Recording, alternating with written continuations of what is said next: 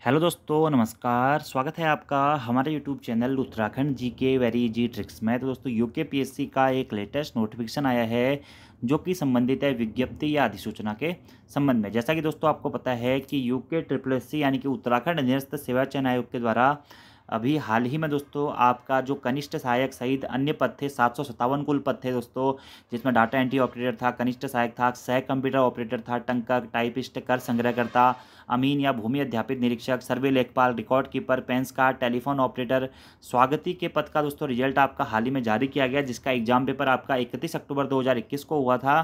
तो दोस्तों इसका जो आपका डॉक्यूमेंट वेरिफिकेशन है, वह तीन अप्रैल 2023 से दोस्तों निर्धारित किया गया यानी कि तीन तारीख से दोस्तों, तीन अप्रैल से आप लोगों के डॉक्यूमेंट वेरिफिकेशन की प्रोसेस शुरू कर दी गई है। और डॉक्यूमेंट प्रोसेस की दोस्तों, ये संख्या जो है, बहुत ज़्यादा टाइम लग रहा है दोस्तों डॉक्यूमेंट वेरिफिकेशन तीन अप्रैल से लेकर लगभग लगभग चौबीस या पच्चीस अप्रैल तक आप लोगों के डॉक्यूमेंट वेरिफिकेशन दोस्तों चलने वाले हैं, ठीक है? और निर्धारित कार्यक्रम की तिथि को अंकित सीरियल नंबर के अनुसार अभ्यर्थियों का अभिलेख सत्यापन किया जाएगा। यानी कि सीरियल नंबर के अकॉर्डिंग आयोग ने यहाँ पे नंबर्स ऑफ़ स्टूडेंट्स को की संख्या को जारी किया है। और दोस्तों, दोस्त, देखिए दोस्तों, सात सौ सतावन के आसपास में कुल सीटें हैं और आयोग ने अभी फ़िलहाल आपका वन टाइम्स जो है ना बच्चे वह सेलेक्ट किए हुए ठीक है, ग्यारह कुछ बच्चों का रिज़ल्ट जारी किया गया है और इन्हीं में से दोस्तों फिर जो सात सौ सत्तावन अभ्यर्थी हैं, उनका चयन किया जाएगा और फिर उनकी दोस्तों वहाँ पर ज्वाइनिंग होगी। ठीक है तो अभी फ़िलहाल वन ज़्यादा लोगों को ज़्यादा सेलेक्ट किया, यानी कि डेढ़ गुना को यहाँ पे सिलेक्ट किया गया है, ठीक है?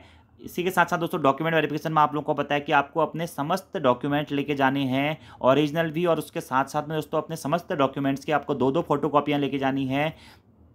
जो कि सेल्फ अटेस्टेड होनी चाहिए, ठीक है? छः पासपोर्ट आकार की फोटोग्राफीज आपको अपने साथ में लेकर जानी है, ठीक है? और आपका जो ई डब्ल्यू सर्टिफिकेट है दोस्तों, वह विज्ञापन की अंतिम तिथि से या फॉर्म भरने की अंतिम तिथि से पहले वैलिड होना चाहिए, जो भी आपके डॉक्यूमेंट्स हैं, ठीक है? बाकी अगर आपके किसी भी डॉक्यूमेंट्स में कोई भी प्रॉब्लम है दोस्तों तो आप वहाँ पर अपना एफिडेविट उसके साथ में बना के ले जा सकते हैं, ठीक है? और इस आयोग की एक जो चेकलिस्ट है दोस्तों, संवाद सेवेंटी नाइन में आपको यू के ट्रिपल की वेबसाइट मिल जाएगी। वहाँ से उस चेकलिस्ट और अभिलेख सत्यापन में उपस्थिति हेतु जो औपबंधिक प्रवेश पत्र है दोस्तों, इसका आपको प्रिंट आउट निकालना है और दो दो प्रतियाँ इसके अलग अलग तैयार करके आयोग कार्यालय में दोस्तों आपको जाना है डॉक्यूमेंट वेरिफिकेशन के लिए। बाकी अभिलेख सत्यापन की तिथि को अभ्यर्थियों के द्वारा ऑनलाइन विभागवार प्राथमिकता भरना अनिवार्य, यानी कि जो आपकी प्रेफरेंस है दोस्तों, आप कौन से पद में जाना चाहते हैं? आप कनिष्ठ सहायक बनना चाहते हैं, सर्वे लेखपाल बनना चाहते हैं, आप टैक्स कलेक्टर बनना चाहते हैं, आप डाटा एंट्री ऑपरेटर बनना चाहते हैं, जो भी आप बनना चाहते हैं तो उसके अनुसार दोस्तों विभागवार प्राथमिकता भी आपको डीबी में ही भरने को मिलेगी। और अभिलेख सत्यापन में दोस्तों निर्धारित तिथियों में अभ्यर्थियों की उपस्थिति नितांत रूप से अनिवार्य होगी। अगर कोई भी अभ्यर्थी निर्धारित तिथि में नहीं पहुँचता है तो दोस्तों, या तो उसको कोई भी गंभीर कारण देने पड़ेंगे, या फिर उससे अभिलेख सत्यापन है तो फिर सात दिन की अवधि दी जाएगी उसे अभिलेख सत्यापन में उपस्थित होने हेतु। ठीक है तो आपको जाना ही जाना है, आप ये मान के चलिए। इसके पश्चात किसी भी अभ्यर्थी के अभिलेख सत्यापन के लिए कोई भी अन्य तिथि निर्धारित नहीं की जाएगी। ठीक है, अब बाकी कुछ अन्य चीज़ें आप यहाँ पे देख सकते हैं। ठीक है, बाकी यहाँ पे कुछ और चीज़ें दिखी गई। देखिए कि यदि अभिलेख सत्यापन की निर्धारित तिथि को अभ्यर्थी द्वारा ऑनलाइन आवेदन पत्र में किए गए दाए दावे सही अनुरूप अभिलेख प्रस्तुत नहीं करते, यानी कि कोई भी डॉक्यूमेंट में कोई प्रॉब्लम होती है तो जो भी आपके बचे हुए अभिलेख होंगे, उनको कार्यालय में जमा करने के लिए सात दिन का आपको अतिरिक्त समय दिया जाएगा।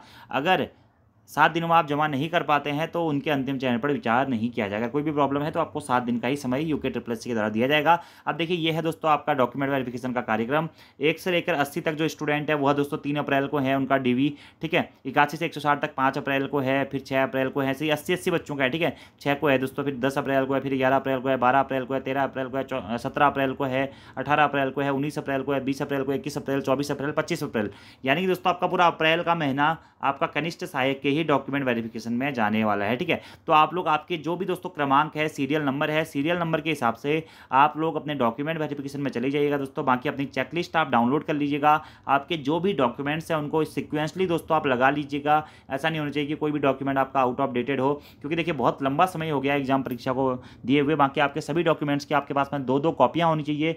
जिस हिसाब से आपने फॉर्म भरा हुआ है, वह सभी डॉक्यूमेंट्स आपके पास में वैलिड होने चाहिए और आपके जो डॉक्यूमेंट्स दोस्तों उससे आपके सेल्फ टेस्ट भी करा के ले जाना है। अगर किसी भी डॉक्यूमेंट में कोई भी प्रॉब्लम है या फॉर्म आपने गलत भर दिया है तो उसके साथ में आप उसका एफिडेविट बना के दोस्तों ले जा सकते हैं। बाकी ऑल द बेस्ट दोस्तों आप सभी लोगों को डॉक्यूमेंट वेरिफिकेशन के लिए। तो आज की इस वीडियो में इतना ही। आपका कोई डाउट होगा तो आप कमेंट बॉक्स में पूछ सकते हैं। धन्यवाद।